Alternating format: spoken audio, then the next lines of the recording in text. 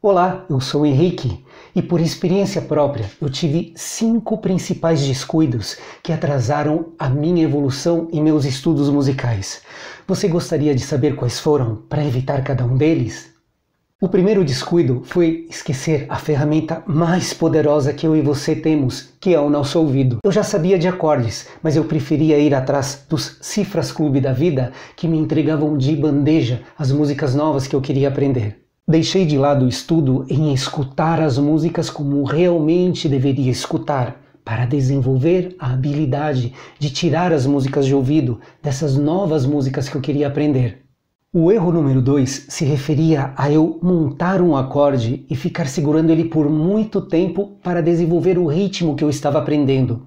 E isso causava desconforto, dores e cansaços em meus dedos. Para evitar essas dores, quando eu queria fazer um ritmo no violão, eu podia fazer ou esse exercício com as cordas soltas, ou eu poderia também abafar essas cordas com a minha outra mão e continuar a fazer estes exercícios rítmicos. O terceiro erro também estava ligado aos ritmos.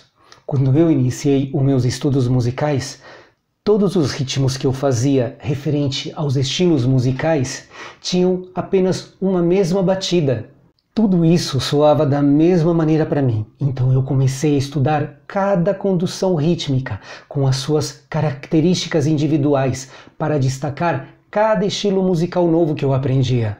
Cada estilo musical tem um tipo de condução rítmica. Alguns estilos musicais são com batidas de antebraço, outros são com dedilhados. Há técnicas também onde as cordas são tocadas simultaneamente.